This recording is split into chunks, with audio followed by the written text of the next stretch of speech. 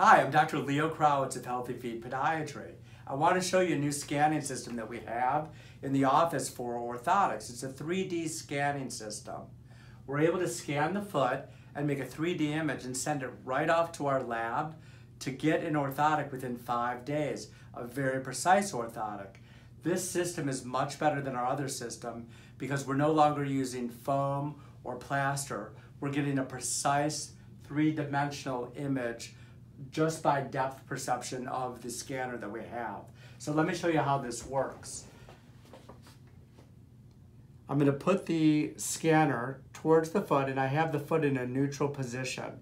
I have the foot in the middle of the scanner now so I can simulate putting plaster on the foot. As I go around the foot, you can see that it's turning white and that's simulating the plaster that we used to use in the office to cover the foot. I'm going to go around to the other side of the foot now so I can cover that with the simulated plaster. And now I have a completely plastered foot and a 3D image. I'm going to zoom in on this so you can see what I'm talking about.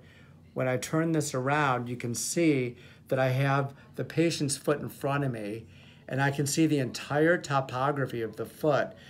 So when I send this to the lab, I can correct all the deformities of the foot and stop all the abnormal motion of the foot and we'll be able to stop all the pain that the patient have.